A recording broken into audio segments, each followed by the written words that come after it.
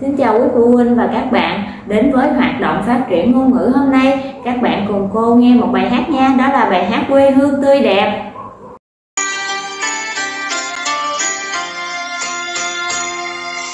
Hãy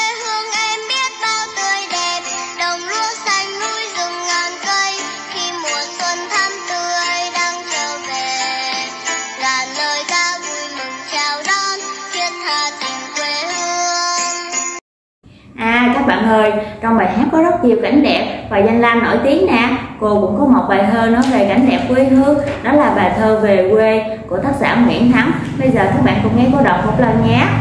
Bài thơ về quê Nghỉ hè bé lại thăm quê Được đi lên rẫy, được về tắm sông.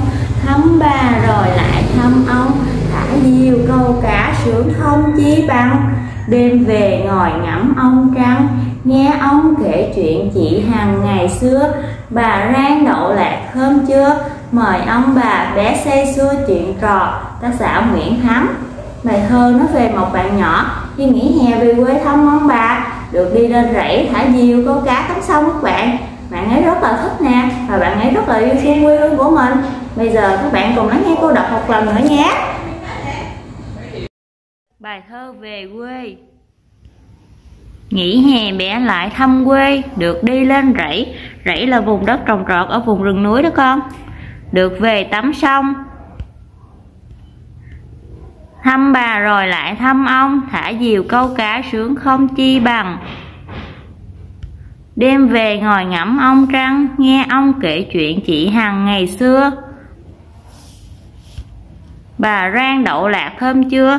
Đậu lạc là từ ở miền Bắc, miền Nam còn gọi đậu phộng đó con. Mời ông bà bé say sưa chuyện trò, tác giả Nguyễn Thắng.